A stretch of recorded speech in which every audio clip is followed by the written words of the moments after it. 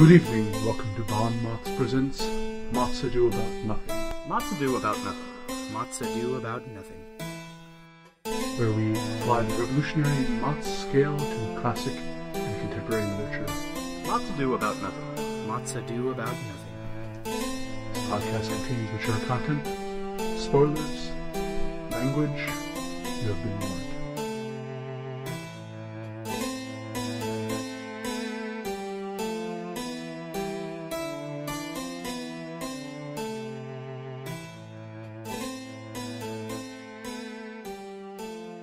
Hello and welcome back to Mots Ado About Nothing.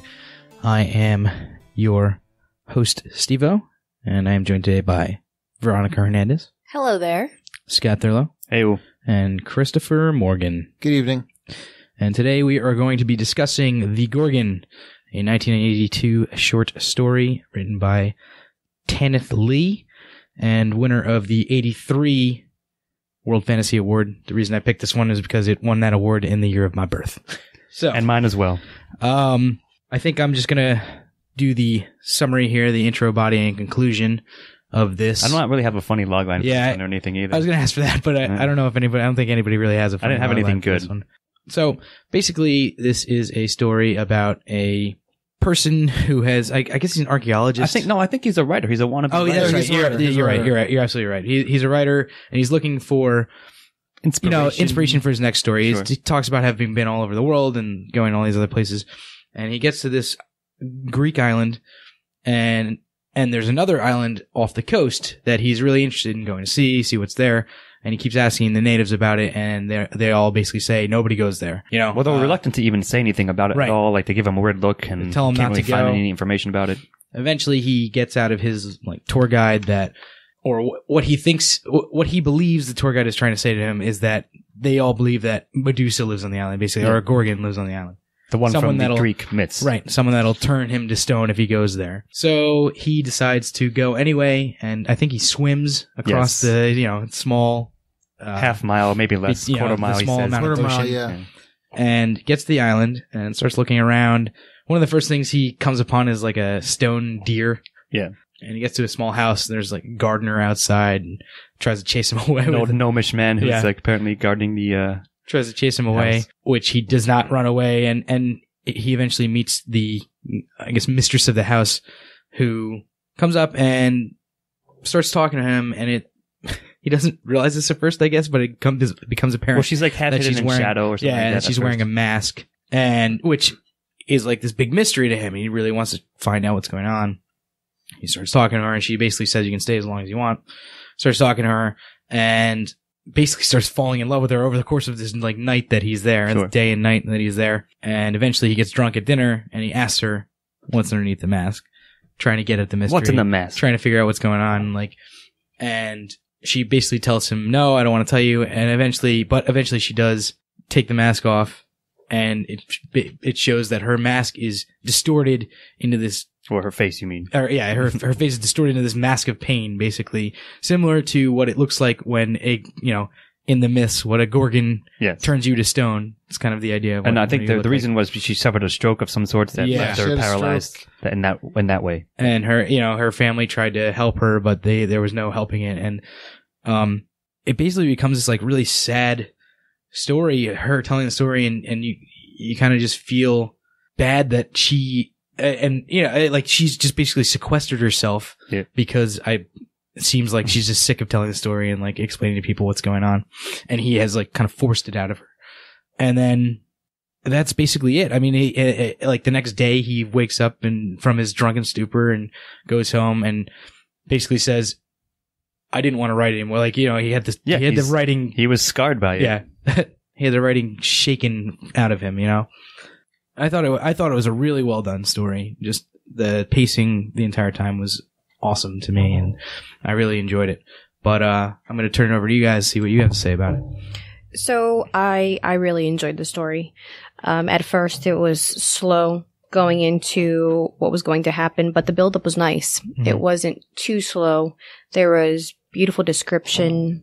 You knew the surroundings, or you felt like you were right there with him. The Yeah. the writer didn't have a name, so I'm just going to call him that guy. Um, the guy The author, if you will. goes through the entire story and uh, with his interactions with the Gorgon or the Does she girl. have a name? I don't remember if she even no, said she didn't have either. a name either. Yeah. Yeah. I really enjoyed the start because I think that the surroundings, all of the beauty did contrast to the Gorgon when he went and actually witnessed her face when she took her mask off. The conclusion, I think, was really, really well written. Um, I definitely was able to finish reading the short story and find some sort of peace with the story, even though the, the subject of it was really sad, like Stevo was describing. So I think it was really, really well written. Um, I'll give it a one or a two. What are we doing here? three. Three. It's A seven. three. So we're doing intro body inclusion all together. I'll give it a one, a two, a three, a three. A one to each. A three. That's a three. A three. Um, I largely agree. Yeah, uh, good pick, Steve. I I like that. The reason you chose it happened to be because of that, and this is quite a good story. And I'll just mention one thing. I the intro paragraph or two, maybe just the first paragraph, to me, and I say this a lot because I'm a big fan of Lovecraft, but it was almost Lovecraftian. That was a point that I was going to make. I so forgot like, to say of course, but like that's yeah. gonna get to me. Like I'm gonna like that. If I think that of a story, then it Mhm. sort of automatically elevates it in my mind. But regardless, I think yeah, it was definitely well done overall. It's almost like a slow roll. Like th- the title implies it'll be something fantastical or like again like magical realism that we like to uh, sort of delve into sometimes. But it was basically just a straight up like life story, Yeah. you know, set in the real world with something a tra- tragedy has occurred to this person, and they're sort of ostracized There's a whole like, because of it and self-imposed, like exiled, essentially. Yeah. And then there's sort of like a haunting, depressing end to it where the, uh, you know, the author, you know, the guy as, uh, Verno described him, he tries to, he like, this might go to the themes, but he wants to experience something and certainly does, but not the thing he wanted to Right, in a much different way. So yeah, I thought it was very strong overall. I'll probably give it a three myself.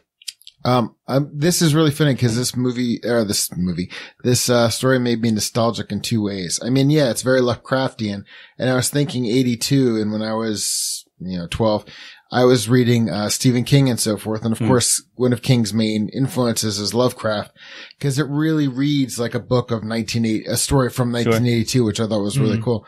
Um, also, as as I took my honeymoon in uh, in Greece, any story about Greece is going to immediately like I know where that is. On I, that front. here. Um, but I, I agree with the rest of you. Uh, well done, Stevo. It's a, I I thoroughly enjoyed this one. And, uh, I really can't add much more than that. I could just discuss the nostalgia factor.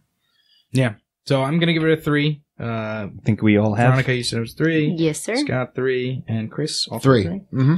All right, that's going to move us on to themes with Chris. Themes. There's so many things. There's, uh, prejudice. Um, there's perception. Hmm. There is once again self-loathing. There's, it's compassion. I don't know if pity could be a theme, but maybe that's the counter to compassion. Mm-hmm. No, it's just, it's just was interesting with the, the way the characters interacted really gave you a perspective of what they thought of her. And then when he described her, you didn't, all of a sudden you saw like his guide, is it Pithari or Pithos? Pitos, I believe. Pithos. Where when he made the face of the Gorgon, it was like, it, he wouldn't go over there, he wouldn't talk about it, and they made the face, and it seemed very cruel all of a sudden after you meet her. Yeah. So, I mean, there's a lot of themes. I think the story is, um, doesn't really delve into any, this is not a criticism, but I don't think it delves into anything so much that it's heavy handed. It, it kind of like addresses it and then moves on. So, um, yeah, I'll give this one. Um, I mean, I think all the things you said are contained in the story, but uh, in my notes, as I after I was done reading, it's what I have is something like either the death of your dreams or the death of some kind of idealization that you had, and when faced with the actual reality, it changes your perspective. Like you said, perspective probably is the biggest one from the things the list that you mentioned, Chris. But certainly, I thought it was very well handled, and I kind of like that. Like you know, like I said, he goes in search of something, finds something much different, Mm, and then is yeah. forever changed afterwards. So I thought that was Yeah. very well handled. I like that, and I'm like I said, I I generally have a bias for that kind of stuff, but when done well, which I think it was here, I'm gonna think it was very strong. Yeah, it's kind of the idea of careful when you go out searching for adventure because you might Yes, find it. Exactly. you know? Yeah. You're not always going to get what you want. In fact, you often aren't. And a lot of times that'll leave you, is certainly leave you changed. And in this case, probably not for the better. Mm. yeah. Often not uh, for the best. Yeah. Yeah. Yeah, I mean, I certainly also saw the when somebody is telling you not to do something, it just builds your curiosity. Of course. yeah. and you just want to do it some more. And I feel like that was a major theme here because the guy had this idea that he was going to find inspiration in this island and everyone is just telling him not to go because they're silly and if this is all, you know, superstition, there's no such thing. At one point there's interactions between the guy and Pitos who was his guide um, on the island and he's trying to explain to him, please don't go there. And like you guys said, he makes the faces of, unfortunately, the Gorgon or the woman. And he's just, he's laughing it off almost without trying to be rude, but he goes with this idea that it's, it's going to be this great idea, this dream, this illusion. And then he, his dreams are crushed mm-hmm. and Yeah. you idiot. That's, that's pretty much what I have to say to that. But I enjoyed it. I enjoy the themes. I think it was very well carried out throughout the story. I would also point out that it's kind of strange that his interaction with her is as hauntingly affecting to him as it is. Like he doesn't Maybe, even see her as I see what you a person. Like she's like a life lesson to him after this. Not even like a person, you know. And granted, I think I think what probably in terms of this haunts him the most is that he was such a dick to her and like I basically harried her until she took off the mask and gave him a story that was certainly not what he was hoping for and, and not what he was wanting to hear. But that's kind of that's kind of an interesting point as well. Uh, I don't know how well that fits into themes, but I think there's something to I be think said it's there. I think certainly there's substance to it, but I, I like all of that, and like I said, I think it was well handled um, on both fronts. yeah.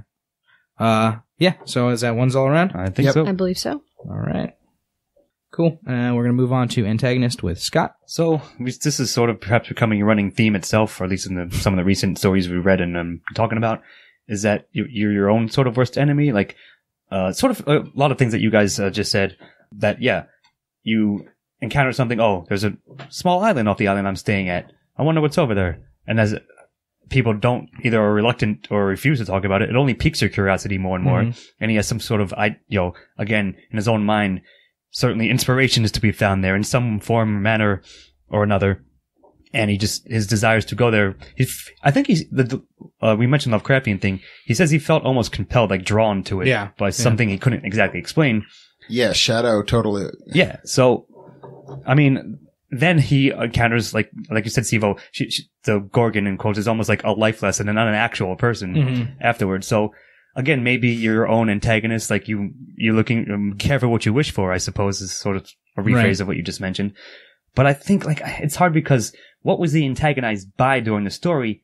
Nothing per se. But then the ending implies he was antagonized by the entire rest of his, His life. own, yeah, his own psyche, I guess, Yeah. or Yes. So, whatever, like- or like- his own preconceived yeah. notions, maybe of So, what was. taken as such, I think again, I have a sort of um weakness for that, if, Mm. if you will, myself. Like I, I like that stuff when it's integrated, and I think it was well done here, and I'm probably going to give it a pretty solid one, if not a hard one. All right.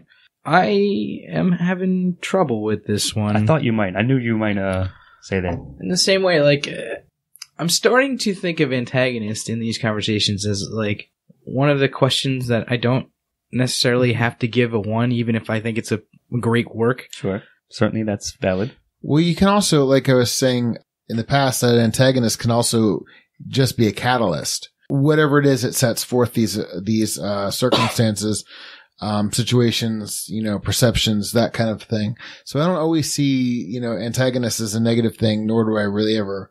So I'm just giving you Yeah. something to work with, brother.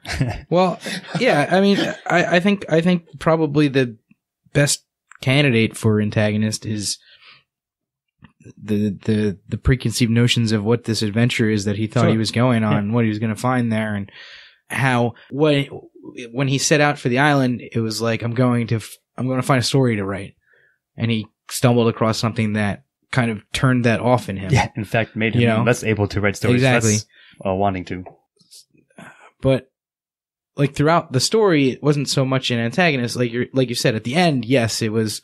Oh, this bothered him for the rest of his life, but it, like throughout the story, this was kind of just a, I get it. a, a journey of self discovery, really, for him. I'm probably going to give antagonist a zero on this. I get it. I, I can see where you're coming from. I just I, the way I interpret it, I think that's how I Yeah, justify giving it a one. Kind of. Yeah, I mean that's fine. Um, uh, I'm gonna give it a one. Uh, I it, this is going to be something that's going to be looped into protagonist too. But let me say that the story, the author, I give a lot of credit to because it, it's a, an immersive experience. Um, cause quite frankly, the, au- the writer, I fucking couldn't stand him. So It's actually a woman. or is it a woman? I thought it was a I man. believe. Well, the the character, the Oh. writing character, That's you what I mean mean. the is the, Oh, the yeah. writer in the, no the, narrator. author of the, So- not the the story was a author, woman. not Alright. the author of the gotcha. story, but The the, guy. character, the guy, the guy, the writer, the you know your narrator. Mr. Tourist Man. Mhm. Yeah, I thought he was insufferable. But the thing is, the author of the story um, does such uses that. Yeah, I don't. I don't think that's the whole. I think that's part of the. Sure. I see- I see Contrast what to mean, it. yeah. Um. So in in cases like these, I have to say, like, would I like this person? No, I really wanted to punch him. But by the same token, he is used effectively against himself. So Hmm. you know, I'm going to give it. If that makes any sense. Yep. No. It's pretty much kind of what I. Yeah, I'm Lean going. I'm still having a problem with this. I, even as we're talking it out, I don't think that the guy really can be the antagonist. But I mean, I, I see what you guys are saying Hmm. as far as these preconceived notions and this idea, this dream that he had before he went to the island. Um, that could certainly be what pushes the story through. So, I mean, if if that's what we're calling the antagonist, then I, I would give it a one. But I have to agree with Chris here. This guy, what an idiot! Well, you can continue to talk about him. yeah, yeah, 'cause please do. We're gonna push on to a protagonist, Verno. And uh, I'm going to find myself in the same place that I was just a few seconds ago. I'm going to just reiterate that I don't know if there was even really a protagonist in the story. I mean, the only character that I could say There was one, I, would say. Well, okay, hear me out. The only one that I could say could fit that description would be the Gorgon or Medusa as the guy refers to her as. And the only reason is because it's, she's living a life that is nothing of her control. Hmm. Like she's trying, is she even interacting with the guy? She's polite. He mentions it numerous times. You're being so polite. You're, um, you know, treating me as a guest and I'm intruding um, I'm the one that's going into your area, your space where you find some sort of solace in your um, loneliness or solitude. Uh, but even when she's describing the story, she's not doing it out of harm, even though she's she's angry because she's in the situation, but she's not angry, I think, at them. Even though in the story it seems as though when she's saying certain phrases or um, you know talking to the guy, there's some sort of um, what's the word I'm looking for? I don't know. when they were speaking to each other, you a mean? certain I don't know what. No, no, I'll give you contempt. There you okay. go. Okay. Even though there was a, a tone of contempt, I think that she, if anything, would fit the role as protagonist, but I'm open to being swayed otherwise. Well, I would say. I'm sorry, Chris. You you had something to say. Uh, no, actually, I was going to discuss the scene because the scene, the dinner scene, reminds me when I read the book of um, Beauty and the Beast or the original Beauty or whatever, when they're having cake at the table and he doesn't want her, he doesn't, the Beast does not want to see her watch him eat. And she feeds him and catches a little thing. And this kind of reminded me of a weird I get that. Similarity and the reverse. kind of, yeah. So I'm probably going to save it. I don't know if to save it more for style or for, because I don't consider her the protagonist. I consider this asshole a protagonist.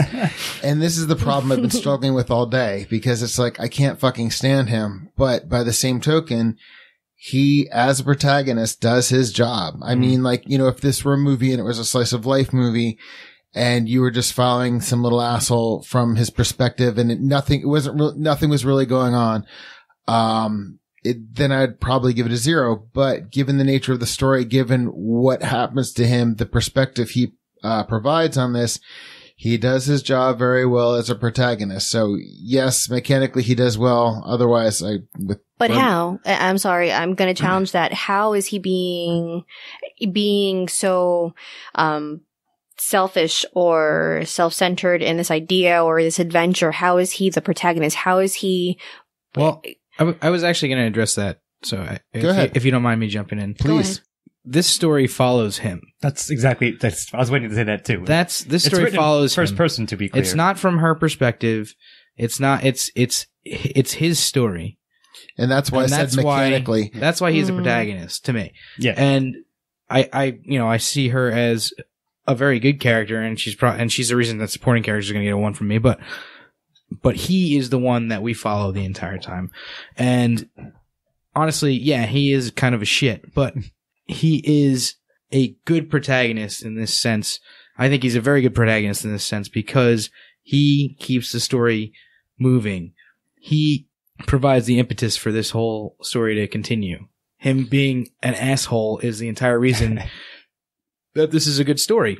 Yeah, and like I said, it's one of those things where I do consider him both the protagonist and the antagonist because of the dynamics he shows. Because there is character development with him, but it's basically, as we were saying, it's his perception. So you Mm. know everything Steve just said. Sure. I mean, I largely agree with. I- I'll try bo- try to tie both of those things together.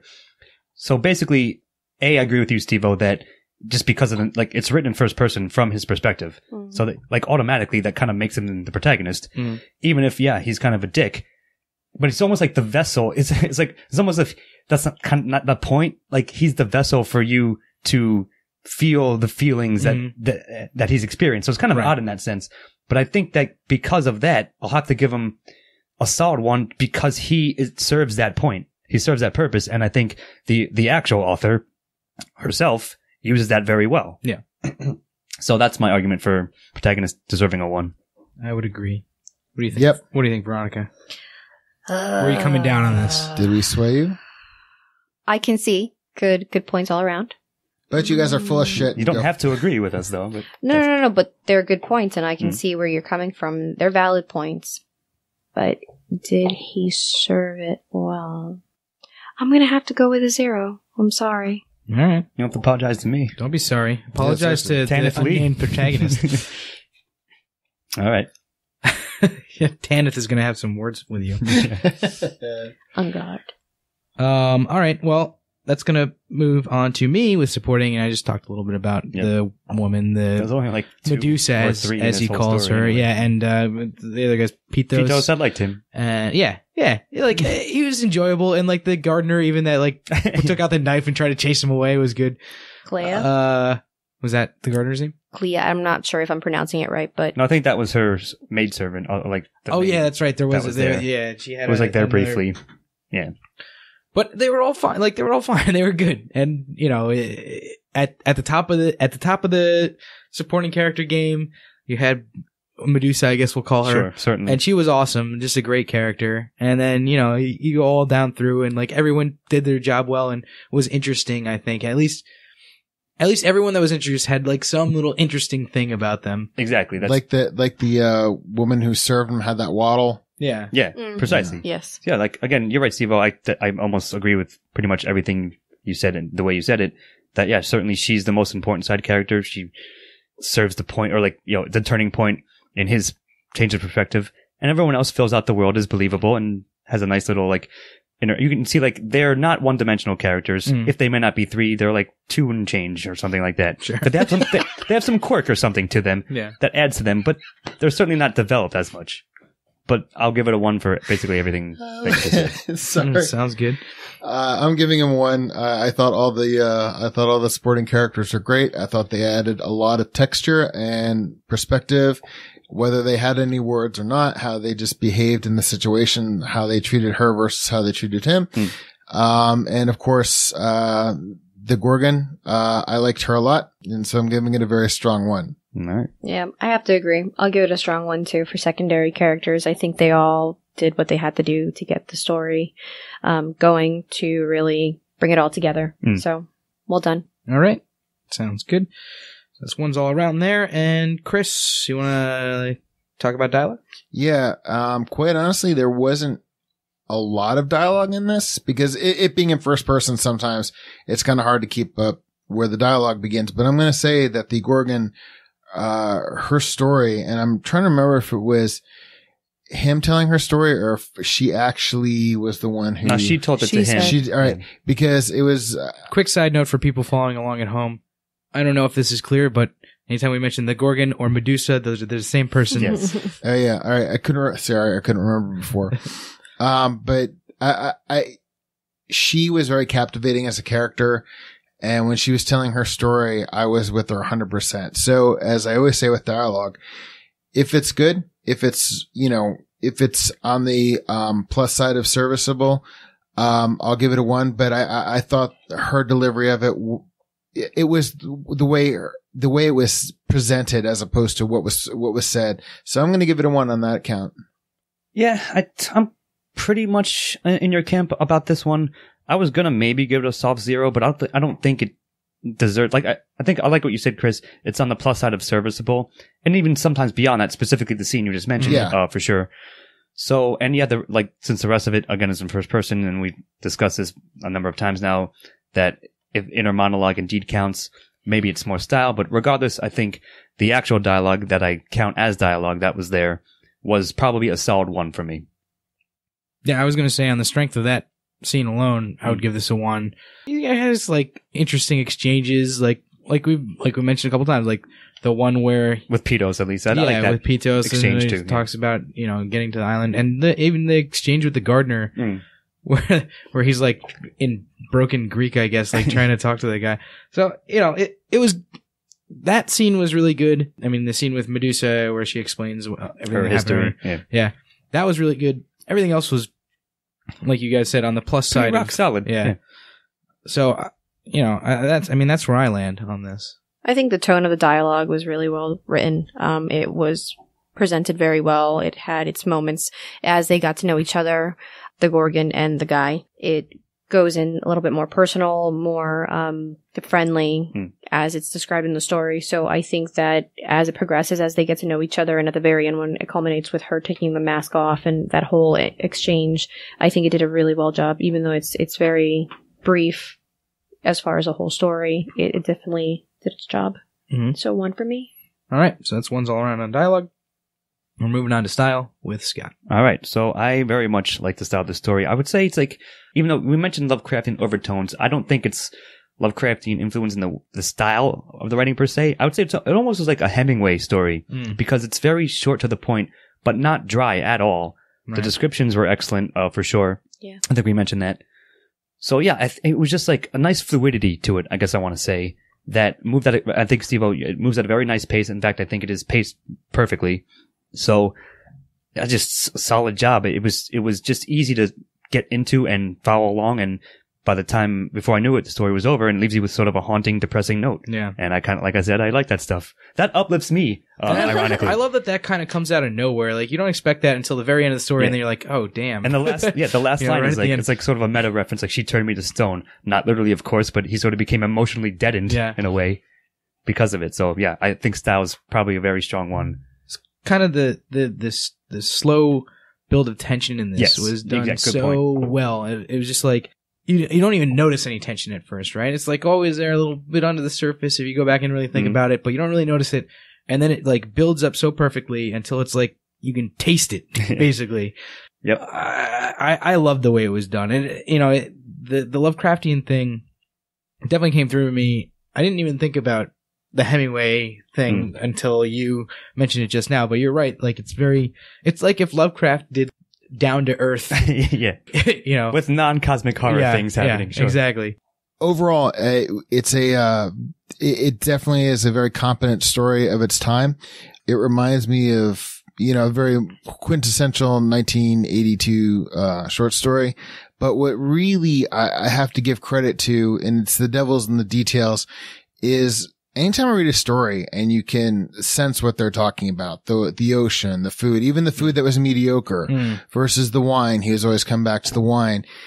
And like when you can just, when you could sit there and they convey smells or tastes or those kind of textures, uh, I, I definitely have to give that a one, a, a very strong one. Um, it was very immersive in that respect. Um, so again, it's just because something is serviceable doesn't mean it can't be extremely well done. It's like having a burger. Yeah, a burger's a burger until you have a really good one.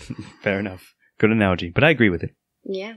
Gentlemen, I can't add any more. I think you guys have hit everything that I liked about the style, about the story. Um, the lush surroundings, the characters, the uh, weather, the water. It's like you're sitting Mhm. in a tropical temperature and it's you're right in the moment of the story, not too fast, not too slow, perfect lighting as much as you can when it comes through in words. So um, definitely a strong one. hmm Yeah, absolutely. And uh, Veronica, why don't you uh, keep talking about whether you recommend this or not? Oh, don't mind if I do. Um, I will recommend this story. I have previously been on this podcast and I am not familiar with Lovecraft.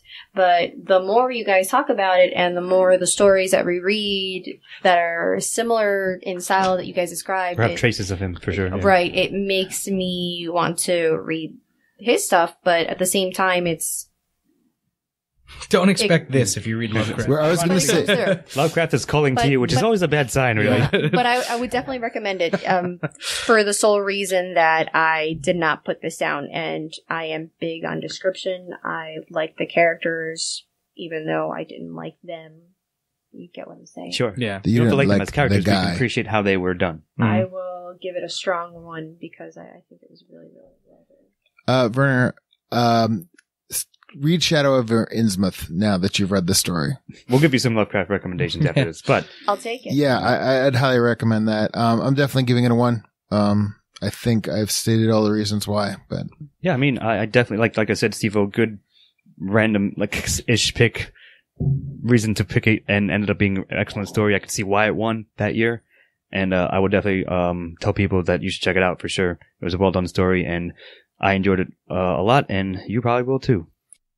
I'm going to give this a one for recommendation. It's a great short story. Definitely check it out. And, you know, like you said, it won for a reason. It won the uh, World Fantasy Award that year for a reason. And It's weird because Hasn't it's not aged- quite fantasy, but hasn't it, aged poorly. it it's it's, it's aged just Yeah. just fine. Like you can you can pick this up. like if you told me this was like if I didn't have the year on it, I would have believed like it could. You're right. It could Yeah. have been anything, but still quality. But yeah, so that's it. Got the scores. Chris and Scott both gave it a 10, and Veronica and I both gave it a 9, which for us aggregate score of 9.5, and I, think that I'm, uh, a, I'm, a, I'm happy yeah, with that. that's fine. It's, feel uh, Steve was made up for uh, great. previous recommendations. yeah, exactly. I was so glad I edited that show. That was hysterical. check out check out a Howard Turtledove episode. Oh, Oh God. God, no. Or don't. No, no, listen to the Or do. episode. Don't, don't read the Yeah. story. But anyway, this has been uh, Mots Ado About Nothing. I am Stevo saying goodbye with Veronica Hernandez, Bye now. Chris Morgan, Good evening. and Scott Thurlow. And I must retire to my own island. Good night. Mots Ado about nothing. Editing and engineering by Stephen Hermosi. Mots Ado about nothing. Music by Christopher Morgan. Check us out on YouTube and iTunes for the shows, and on Facebook and Twitter for updates.